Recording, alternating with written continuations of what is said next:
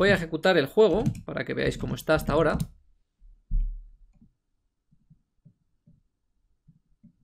Vale, es que sigo teniendo mi menú de pega. Tengo mi personaje. Me puedo mover y subir por las plataformas. Esto ya lo tenía. Pero ahora además tengo dos teclas, la E y la R, que me permiten hacer scroll. Y además mi personaje se puede mover por las plataformas tranquilamente con el scroll. ¿Vale? Se puede ir y puede volver, como veis, me puedo ir de la pantalla y volver porque me puedo mover por el mundo aunque no se vea. ¿Vale? De hecho, yo puedo hacer scroll y entonces me voy para allá, me vuelvo a hacer scroll para acá y mi personaje sigue ahí. Bueno, como no tengo limitado el scroll, puedo hacer scroll fuera del mapa y entonces se ve basura, porque eso es fuera del mapa.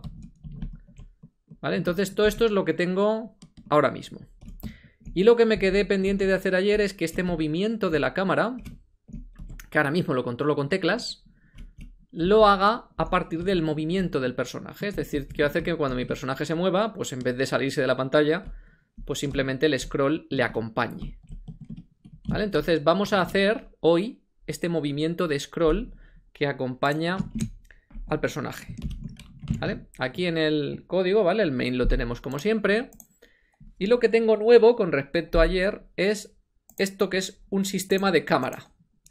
El sistema de cámara como veis aquí, tiene un update que lo que hace es que para cada entidad llama al camera update one entity. Y en el camera update one entity lo que hacemos es obtenemos la en B y en C la posición actual de la cámara, las coordenadas x y de la cámara en coordenadas del mundo. Porque ahora tenemos dos sistemas de coordenadas. Ahora tengo el sistema de coordenadas del mundo y el sistema de coordenadas de la cámara. Y entonces lo que hago aquí es un par de restas que expliqué ayer cómo se hacen para tener por un lado la posición XY del personaje, que es esta de aquí, que sigue siempre en coordenadas del mundo, es decir, mi personaje está ubicado en una posición de todo el mapa, no en una posición de la pantalla, sino en una posición del mundo, del mapa. Y tiene ahora otras coordenadas llamadas screen X y screen Y, que son sus coordenadas en la pantalla. ¿Vale? y se calculan tan sencillo como eso, como la cámara y mi personaje están ubicados ambos en el mapa, yo cojo la posición X de mi personaje, le resto la posición X de la cámara y con eso tengo la posición relativa a la cámara, o lo que es lo mismo, su posición en la pantalla, que es la posición de personaje SX o lo que es Screen X, posición de pantalla. Hago lo mismo con la Y y tengo mi personaje posicionado en la pantalla. Como digo, esto lo expliqué ayer, expliqué con más detalle cómo, de dónde sale eso y cómo se calcula. Esto es lo que hace mi sistema de cámara por ahora.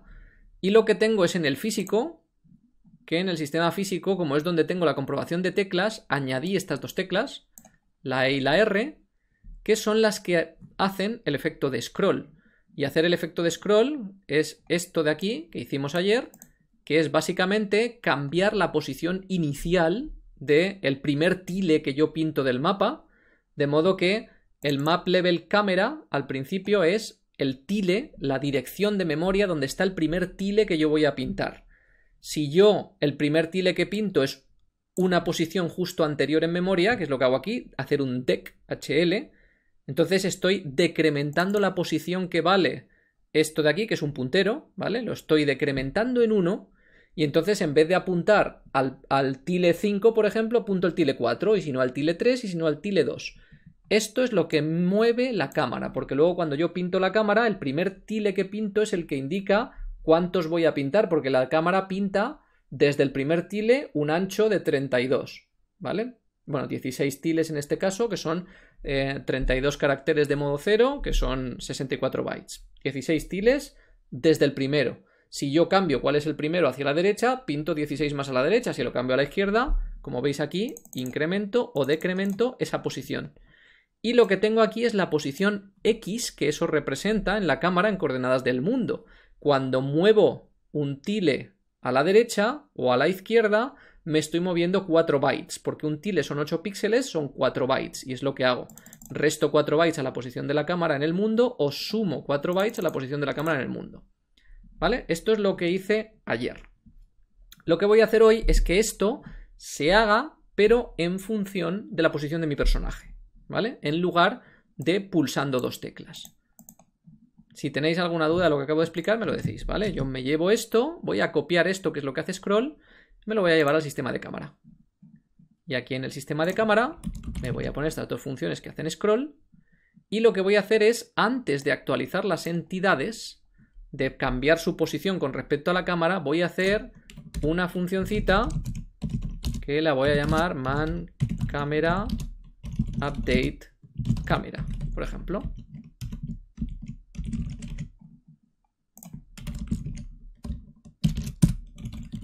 Y en esta es donde voy a hacer el scroll pero en función del personaje. Bueno, esto que veis aquí, que son la posición X de la cámara, esto está guardado en el nivel. ¿Vale? Aquí en el nivel yo tengo el mapa, que lo tengo guardado aquí, en esta posición, ¿vale? Esto es el bytes para el tamaño del mapa y ahí se guarda el mapa y aquí veis que está la cámara. Como digo, la cámara tiene un puntero a cuál es el primer tile que se tiene que pintar, ¿vale? Como veis el puntero al principio apunta al principio del mapa, de modo que yo cuando empiezo el juego lo primero que pinto es el primer tile del mapa, de ahí 16, por eso se ve el principio del mapa, y conforme este puntero lo incremento o lo decremento, voy pintando distintas zonas del mapa.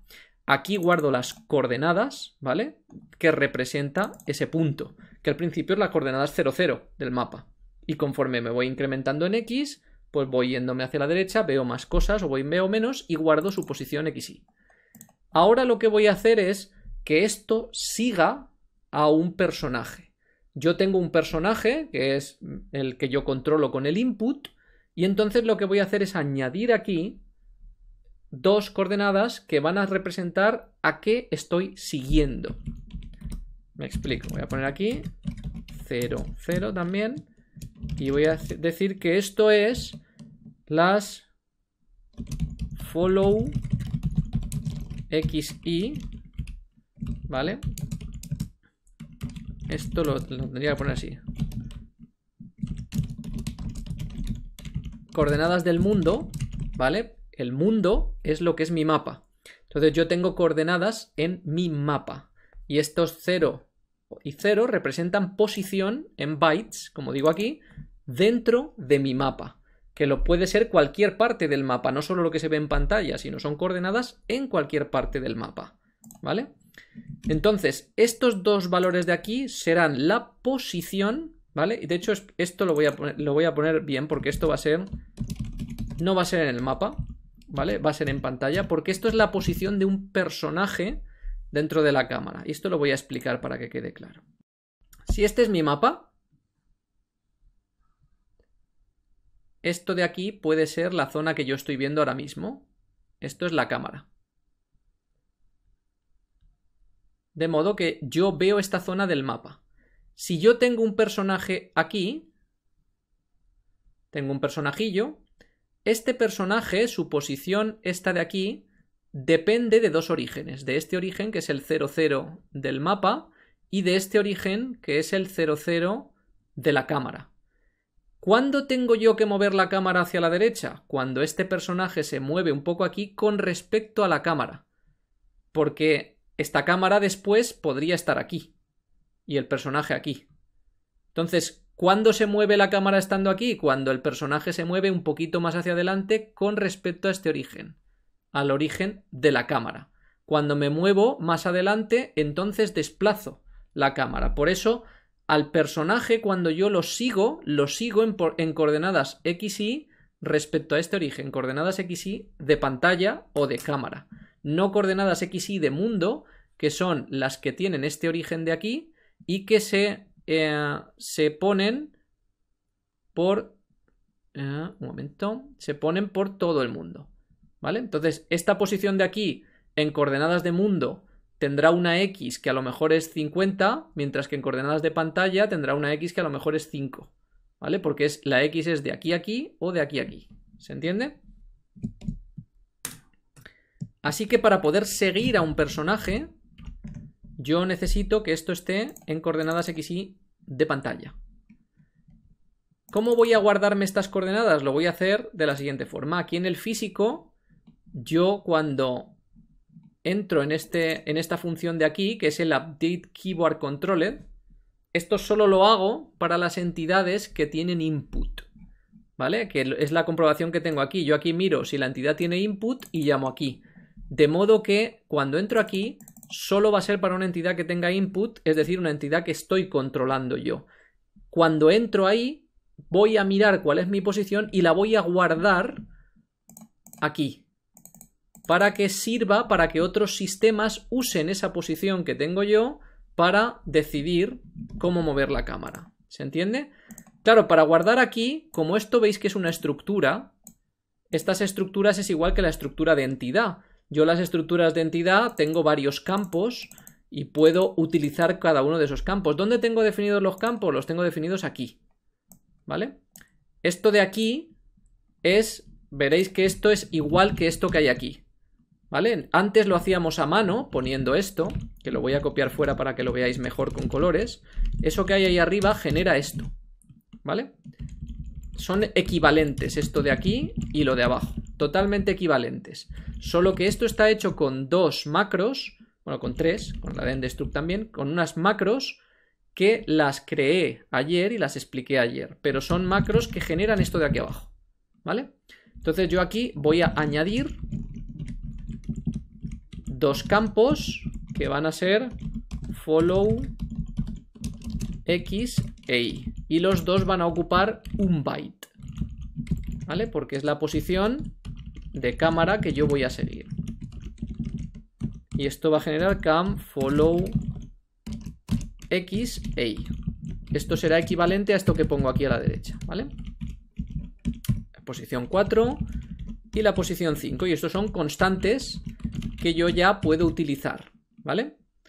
Estas constantes que puedo utilizar son los desplazamientos. Como veis aquí esto está en la posición 0 y ocupa la 0 y la 1 porque es un puntero. Esto es la 2, la 3, la 4 y la 5, que es exactamente lo que veis aquí, ¿vale? Es ahora me vengo aquí al... Eh, no, aquí no. Me vengo al, al eh, Physics, que no lo tenía aquí. Y aquí es donde voy a aprovechar cuando entro aquí, ¿vale? Esta parte de aquí abajo es... Eh, check keyboard and react. Y aquí lo que voy a hacer es... Eh, update follow xy coordinates. ¿Vale? Entonces voy a guardarme, como decía, aquí las coordenadas de la entidad a la que yo quiero seguir, que es la que tiene input. Así que lo que voy a hacer es con esta entidad, cojo e de x y lo guardo en, ojo, map level camera más, ¿vale? Esta es la cámara, como veis, más la distancia que hay hasta aquí, que es el cam follow x. ¿vale? La posición de memoria, esta posición de memoria es map level map camera y esta posición de memoria es map level map camera más 2, 3, 4, 5, que como veis aquí es esto de aquí, más 4, ¿vale? Follow X. ¿Sí? Entonces, ahora ahí guardo A. repito la operación para guardarme el follow y ya he hecho algo que está mal. ¿Qué es lo que he hecho aquí que está mal? Después de todo lo que he explicado, esto que he hecho está mal.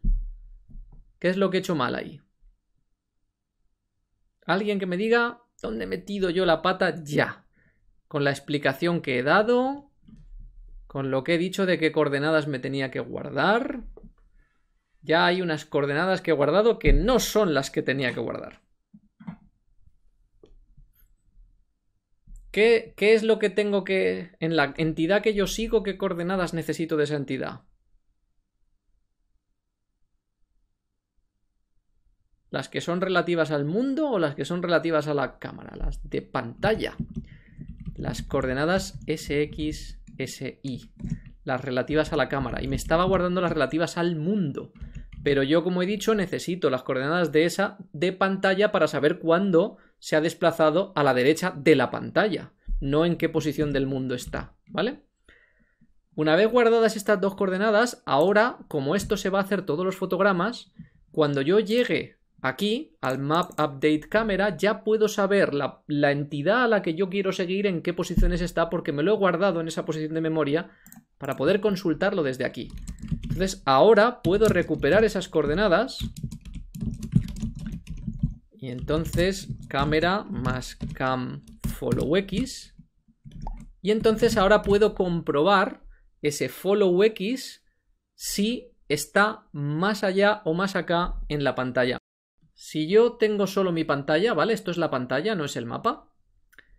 Y yo tengo un personaje, necesito saber cuándo está en una zona donde tengo que hacer scroll. Entonces, el centro de la pantalla, que sería lo ideal, lo tengo que medir. Mi pantalla empieza en la coordenada 0 y esta es la coordenada 64 porque tengo 64 bytes, bueno, concretamente en las 63. Así que yo lo que voy a hacer simplemente es ver cuándo mi personaje se mueve más allá de la coordenada 32 para hacer scroll o se mueve más acá, por ejemplo, de la coordenada 30 para hacer scroll. Si yo me muevo por debajo de la coordenada 30, hago scroll a la izquierda. Si me muevo por allí, por arriba de la coordenada 32, hago scroll a la derecha, ¿vale? Muy facilito para empezar. Entonces, cojo la A y compruebo. Con 32, por ejemplo. Y ahora tendré que saltar a hacer scroll right. Sí que. ¿Qué condición pongo aquí? Porque aquí he cogido la coordenada, ¿vale? Ahora mismo esto, lo que hay en A es la, el follow X, que es una coordenada de pantalla. Y entonces la comparo con 32. Y comparar con 32 os recuerdo que es restar 32. Esto es follow x menos 32, solo que la, la, resta no se hace. A no se actualiza, pero sí se actualizan los flags como si hubiéramos hecho la resta. Alex dice, si no hay carry, tengo que saltar. Si no hay carry al restar 32, quiere decir que el número al que le he restado 32 era mayor. Si yo a 40 le resto 32, quedan 8, no necesito acarreo. Si yo al número A, que fuera 20, le resto 32, me sale menos 12. Y para representar el menos 12 necesito un bit más. Por tanto, ese genera acarreo. ¿Vale? Entonces es, si no hay acarreo, scroll a la derecha. ¿Vale? O lo que es lo mismo, scroll a la derecha si follow x es mayor de 32. ¿Vale? Podría compararlo con 31 para que sea a partir del 32, por ejemplo, pero lo voy a poner en el 32. Tampoco me voy a molestar mucho en hacerlo muy exacto. Así que ahora, cuando yo me pase de 32 en coordenadas de pantalla, voy a hacer scroll a la derecha. Vamos a ver si esto funciona, ¿vale? Ya, ya estoy llamando aquí. Y teóricamente esto debería de hacer eso. Si me paso, hago scroll. Apuestas, ¿funcionará?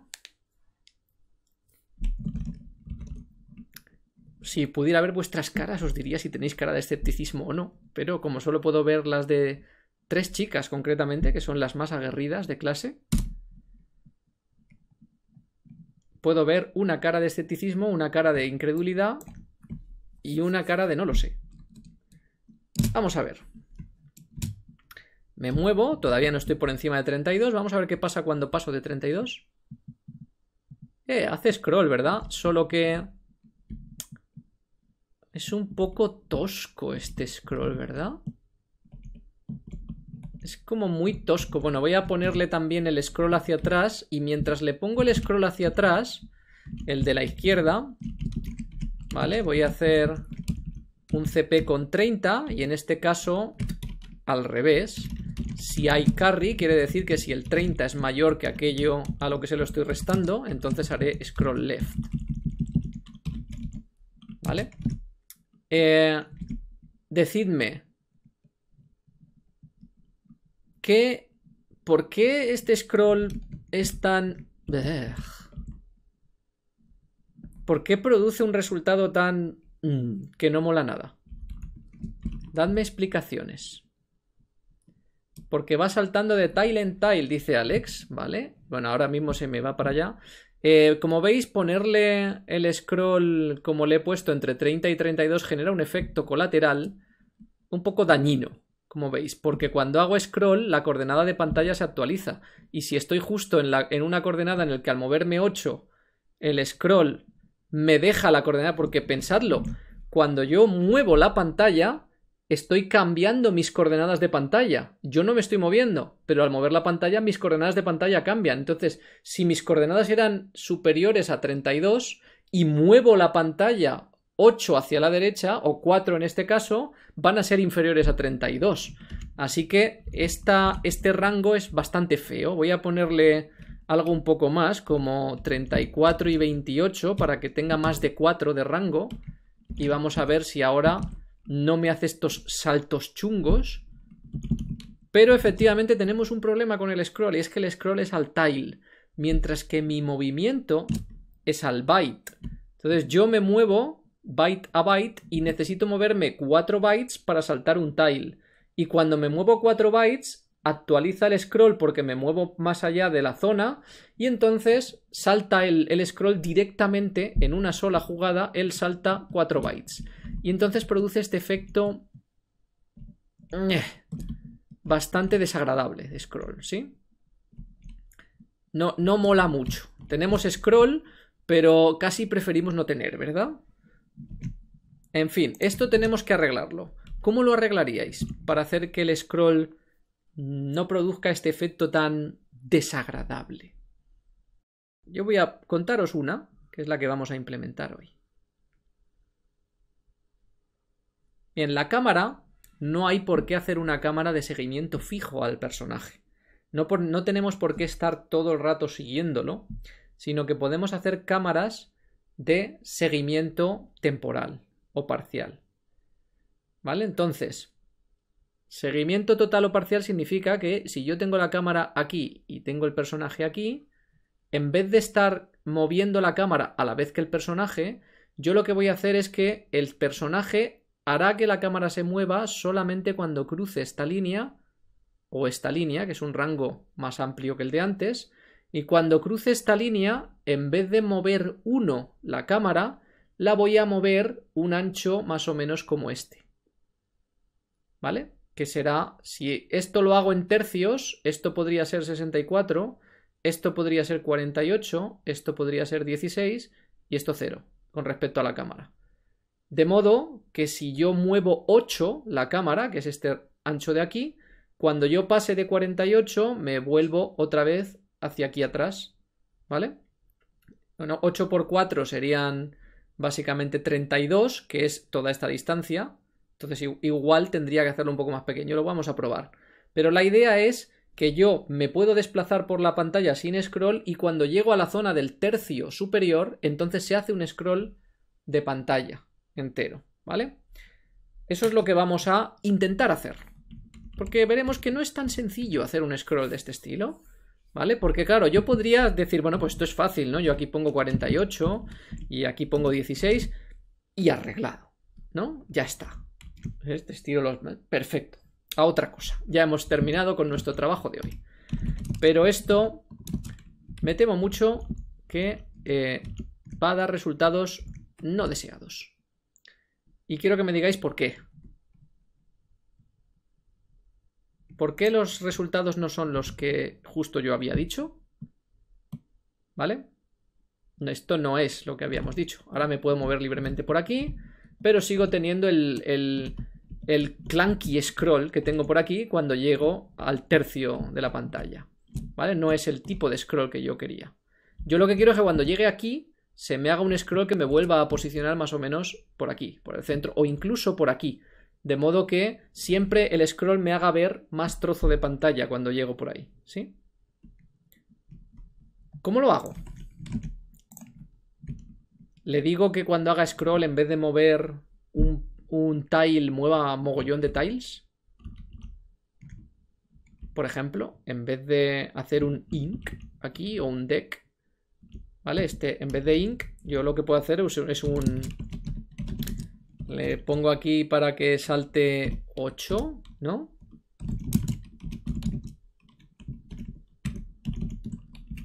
Esto, ¿Esto suena bien, lo que estoy haciendo? Sean 8 por 4 Pues lo dejo indicado. ¿Suena, ¿Suena bien esto que estoy haciendo? ¿Qué va a pasar si hago esto? Decidme, ¿qué, qué va a pasar si hago esto?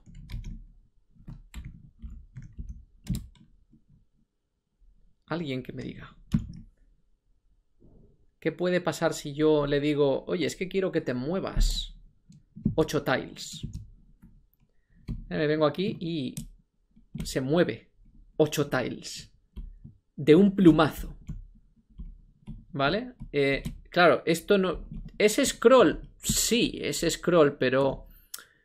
Bueno, no mola mucho, ¿no? Bueno, fijaos que ahí tenemos un tile que cambia, porque como es una zona de memoria que usamos para guardar datos, ahora cuando me muevo es, muy molón, ¿vale? Se va cambiando.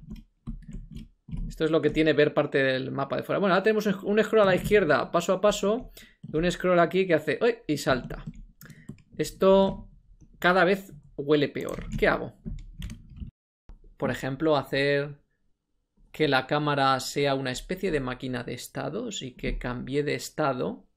Y entonces cuando pasamos al estado scroll, entonces tenemos que hacer scroll durante un tiempo hasta que la cámara llegue a otra posición y volvemos al estado de estoy esperando a que me toque hacer scroll. ¿Sí? Entonces lo que cuando detectamos esto, ¿vale? Entonces a esto lo llamaríamos detect scroll start por ejemplo. Estas condiciones no deben de provocar que se haga scroll, sino que empiece el scroll. ¿Sí? Entonces, para que empiece el scroll, lo que haremos es guardarnos un nuevo estado de la cámara cambia de estado y entonces pasa a voy a hacer scroll y entonces a partir de ahí en cada fotograma haré un movimiento de scroll hasta que la cámara haya scrolleado por completo. ¿Sí? ¿Os parece? Entonces, ¿cómo hago eso? En vez de guardarme un estado típico que guardo estado 0, estado 1, a mí se me ocurre algo más interesante. En mi estado, yo lo que puedo guardar es cuántos tiles me falta por hacer scroll. Por ejemplo. Yo puedo guardar en el estado 0 cuando no tengo que hacer scroll y guardo un estado 4 cuando tengo que hacer cuatro veces scroll a la derecha y guardo un estado menos 4 cuando tengo que hacer cuatro veces scroll a la izquierda. Y así, cuando empiezo en esta función al principio, yo podría mirar el estado y decir, si es 0, no tengo que hacer nada y miro a ver si me toca cambiarlo o no. Y si es positivo o negativo, en uno de los dos casos es scroll a la derecha o scroll a la izquierda. ¿Sí? ¿Os parece? Entonces voy a necesitar guardar ese estado de scroll. Voy a necesitarlo, así que voy a añadir aquí un db0 que va a ser tiles to be scroll. Así que guardamos un 0. Y por cierto, estoy guardando aquí unos numerajos que estos numerajos, si vuelvo a poner esto, os daréis cuenta de que tienen un potencial problema. Alguien que me diga qué potencial problema tienen esos numerajos que yo guardo. Si yo ahora me muevo por aquí y avanzo y estoy aquí, eh, ¿qué pasa si reinicio? Hmm, what happens with this? Si le doy al espacio... Uh, no ha pasado nada. Qué misterio, ¿verdad? Pero Debería, ¿no? Porque todas estas cosas que yo tengo... Ah, pero magia, magia, hay que tenerlo en cuenta. Fijaos, yo aquí en el man level init tengo una inicialización de esos números que hay que tenerlo en cuenta porque si yo quito esta inicialización mágica, entonces esos números yo los dejo cambiados y cuando vuelvo a empezar el juego en segunda iteración del juego esos números están cambiados. ¿Vale? Si yo ahora me muevo, se están cambiando las coordenadas, se está cambiando todo, salgo, vuelvo a entrar y está todo cambiado y me hace una cosa esotérico extraña, básicamente. Porque está todo cambiado, pero mi personaje se ha ido a las coordenadas del inicio y eh, ha pasado algo desagradable. Entonces, no os olvidéis de que cuando ponéis datos en memoria hay que iniciarlos. Y yo he añadido unos cuantos datos nuevos a esto que no los estoy iniciando, porque yo tenía solo esto. Y ahora tengo estos tres ceros más de aquí que no estoy iniciando y que como hemos comprobado no me afectan mucho porque este no lo estoy usando aún y estos dos de aquí como son el follow se inicializan cuanto mi personaje se mueve. Pero es casualidad. No hay que dejar las cosas a la casualidad. Sobre todo este de aquí abajo es peligroso si lo dejo en mitad de un 4, un menos 4 o algo, ¿vale? Entonces, yo aquí he puesto dos ceros, he añadido tres ceros más, con lo cual podría hacer tres ceros más, pero ya estoy metiendo muchos inks aquí. Esto ya empieza a parecer feo, ¿no? Esto ya no, no mola tanto. Entonces, ¿qué puedo hacer? Pues puedo hacer lo que hacemos siempre. Yo me llego aquí y me hago LD, HL, el man level cámara, ¿vale? habíamos dicho template y LDIR, sí, pero el template no me hace falta porque si os fijáis, para meter ceros no necesito un template, ¿vale? Entonces, apunto al man level cámara, que es aquí, lleno todo esto de ceros y luego posiciono esto, que es lo único que cambia, ¿vale? Así que esto es llenar todo esto de cero. ¿Y cómo sé cuántos ceros hay que poner aquí? Pues hombre, yo podría saberlo simplemente porque sé que son 6, son 7 en realidad, este y 6 de arriba. Podría saber que son 7 o podría hacer que el ensamblador los cuente por mí. Porque esto de aquí es una dirección de memoria, ¿sí? Esto de aquí es una dirección de memoria. Y si yo aquí pongo punto, esta es otra dirección de memoria, ¿sí? Y esta dirección de memoria y esta son direcciones de memoria que están con una diferencia de 7 unidades. Esta de aquí hay 7 bytes y luego está esta de aquí. Entonces yo puedo hacer esto. Man level map camera size es la dirección donde estoy menos esta. Y es la dirección de aquí menos esta es lo que hay en medio, 7 bytes. Así que ya tengo el size automático. Y basta con que empiece yo a añadir cosas aquí, esto siempre se calcula automático. ¿Vale? Así que aquí voy a poner en DE que apunte a man level map camera más 1, ¿vale? Que esto ya sabemos hacerlo el tamaño de ceros es el, tamaño total menos 1, porque voy a poner un 0 ahora, ¿vale? Voy a poner en HL un 0 y ahora hago el edir. ¿Sí? Pongo un 0 en el primer byte de map camera, DE está apuntando al siguiente byte, voy a copiar ese 0 toda la vez en menos 1, que ya lo he puesto. Y entonces copio del primer byte al segundo, del segundo al tercero, del tercero al cuarto, del cuarto al quinto, del quinto al sexto, del sexto al séptimo, menos una veces. ¿Sí? Con esto lo pongo a cero y ahora solo tengo que añadir este puntero. ¿Vale? Es poner el puntero al map level camera, que es aquí. Ese puntero. Ya está la inicialización hecha y ya me vale para todo lo que tenga ahí mientras sean ceros. ¿Vale? Bueno, volvemos a donde estábamos, que es nuestra, nuestra función para decir, tengo que, cuando esté en condición de scroll, pasar al estado scroll. De modo que esto de aquí ya no va a hacer scroll right cuando yo detecte, sino, por ejemplo, vamos a hacer start scroll right. ¿Sí? Y aquí haremos start scroll left. ¿Vale? ¿En qué consiste hacer Start Scroll Right? A ponerlos los dos. ¿En qué consiste? ¿Qué es lo primero que tenemos que hacer cuando vayamos a iniciar el scroll hacia la derecha? ¿Qué es lo que hemos dicho que íbamos a hacer primero? Poner los tiles avanzar a 4. Bueno, habíamos dicho 4, pero aquí teníamos 8, ¿no? Eran 8 los que queremos. 8, por ejemplo. Vale pues vamos a poner un 8 en el estado. ¿Dónde está el estado? El estado es map level camera más A. Se nos olvidaba. Necesitamos aquí un campo nuevo que lo llamaremos, eh, ¿cómo lo hemos llamado? SCR pending, por ejemplo. Los que nos queda por hacer scroll. Y esto nos creará cam scr pending en la posición 6. Vale.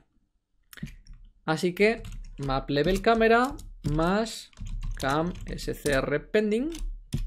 Ahí tenemos que escribir básicamente un valor, que es el, valor 8, que es lo que hacemos para inicializar, ¿sí? Vale, y lo hacemos así directamente. Así a pelo, ¿sí? Mismo. Así. A. 8. Y esto A. ¿Vale? Ya está. Con eso hemos inicializado el scroll. Puedo repetir lo mismo para el left. Aquí. Y le pongo menos 8. Ya está. Inicializado el scroll. Magia, ¿no?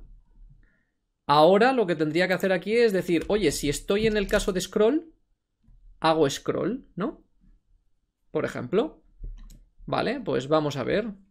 Do scroll when in scroll state.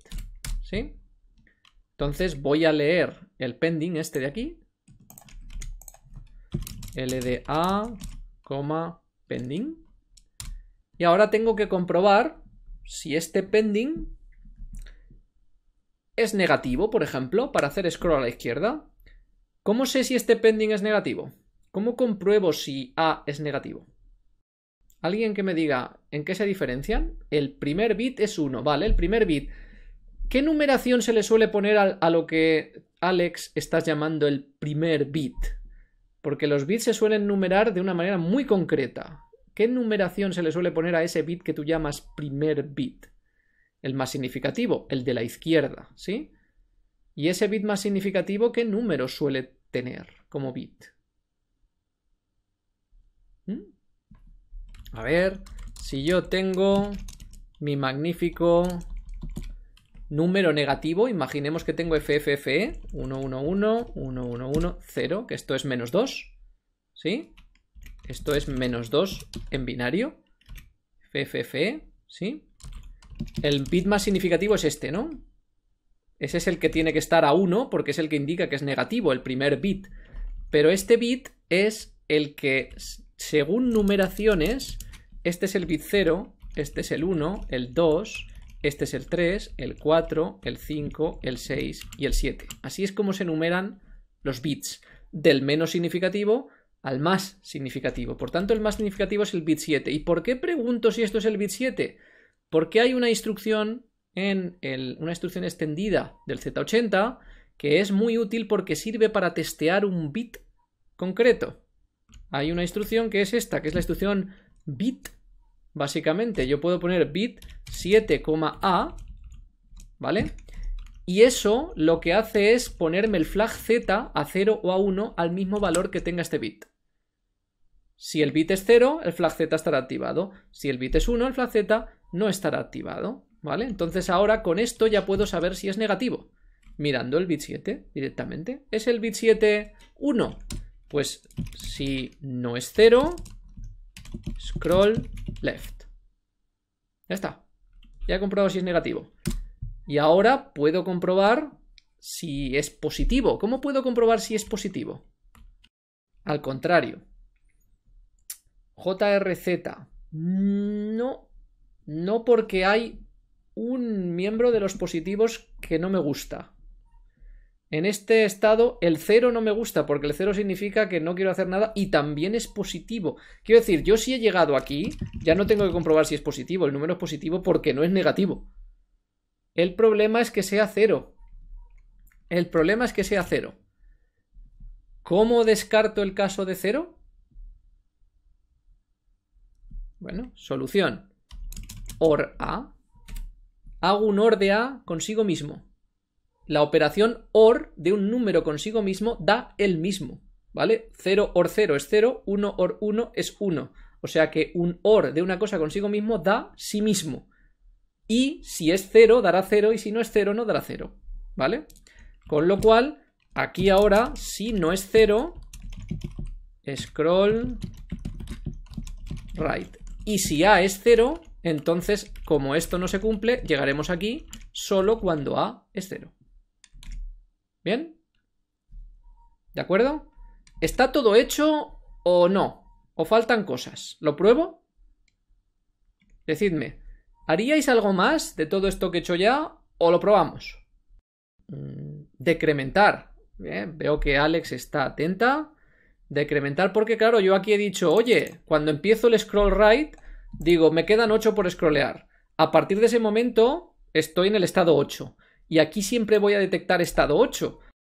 Vamos a ver qué pasa, ¿vale? Hemos dicho, Alex decía que hace falta decrementar y si se me hubiera olvidado decrementar pasaría esto. Que una vez me he metido en el estado de scroll, como decía antes, me he metido en el estado de scroll, he puesto un 8 y este 8 queda permanentemente puesto en el estado de scroll porque nadie lo decrementa. Entonces siempre que entro aquí siempre hago scroll left. Así es que en la rutina scroll left lo primero que tengo que hacer es decrementar el estado. Así que voy a coger y apunto a man level map camera más el esto era scr pending cam scr pending vale y hago un decrementar ¿sí? decremento el estado lo decremento en los dos lados? Ah, ojo, que cuando tengo un estado de scroll left, tengo un valor negativo, con lo cual para volver a cero tengo que incrementarlo, ¿vale? Tengo menos 8, menos 7, menos 6, ¿vale? En el scroll left. En el scroll right es donde tengo que decrementar, porque tendré 8, ¿vale? Vamos a probarlo. A ver si funciona.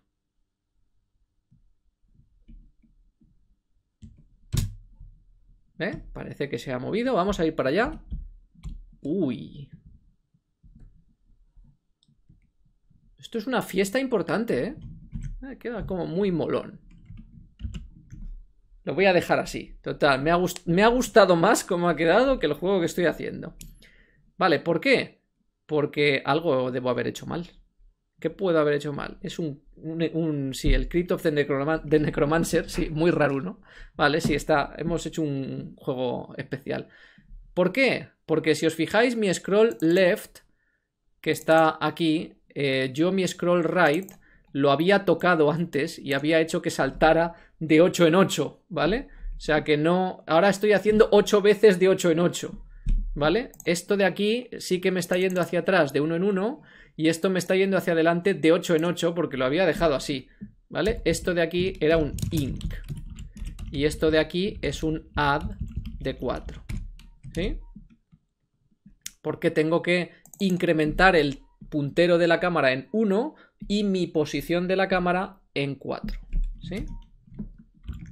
Una fiesta, una pequeña fiesta. Son cosas que pasan cuando se programa el ensamblador y se toca todo. Vamos a ver ahora. ¿Qué, ¿Qué os parece ahora el scroll? Ahora no, da una sensación mejor, ¿verdad? Fijaos qué saltito más guay que me, he marcado aquí. ¿Eh? ¡Pum! Ah, qué guay.